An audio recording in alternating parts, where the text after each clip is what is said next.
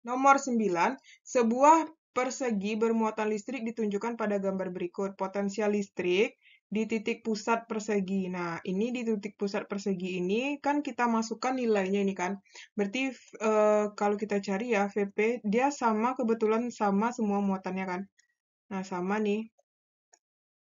Otomatis ini juga sama kan nanti e, muatannya R. Nah, jadi nanti V di pusat itu adalah V1 ditambah V2 ditambah V3 ditambah V4.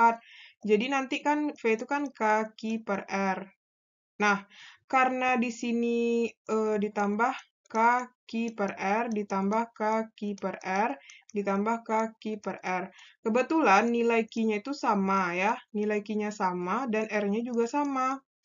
Nah, tapi nanti tinggal kita masukkan aja nilai yang untuk Q1. Q1 itu kan positif, positif kaki per R, ditambah yang kedua minus min kaki per R.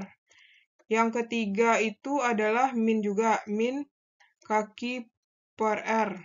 Ditambah, uh, itu adalah positif ya, kaki per R. Nah, ini kan artinya 0 nanti jadi jawabannya ya. Karena kan positif di ditambah negatif, ditambah negatif, ditambah positif. Jadi hasilnya adalah 0. Sehingga jawabannya A. Karena kebetulan Q dan R-nya sama ya. Kalau misalnya Q dan R-nya tidak sama, ya nggak nol juga. Karena kan ini muatannya dua semua nih. Muatan dua semua, otomatis ini sama juga kan R-nya. Oke?